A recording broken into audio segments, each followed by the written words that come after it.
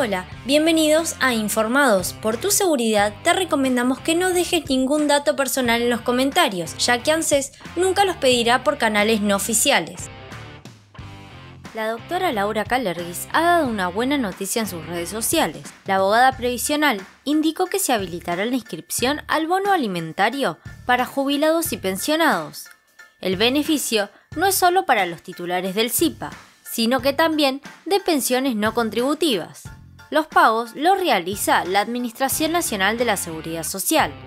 Mensualmente, los centros de jubilados y pensionados entregaban bolsones alimentarios antes de la pandemia.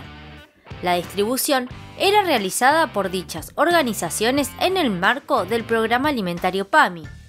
Sin embargo, se suspendió con el comienzo de la pandemia ya que éstas cerraron sus puertas.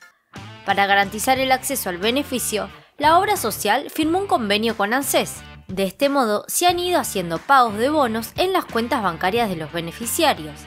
Al recibir estos fondos, los titulares pueden comprar los alimentos que necesitan.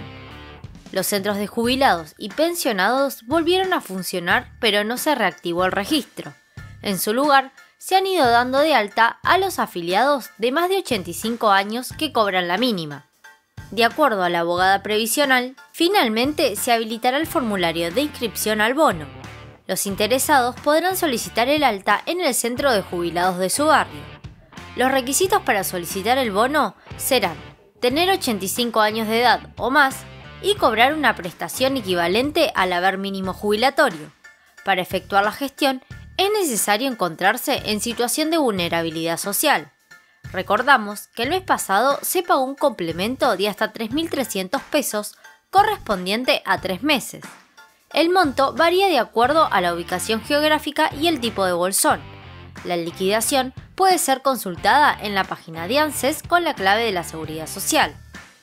Para mantenerte siempre informado, te dejamos en el siguiente recuadro este video que también te va a interesar.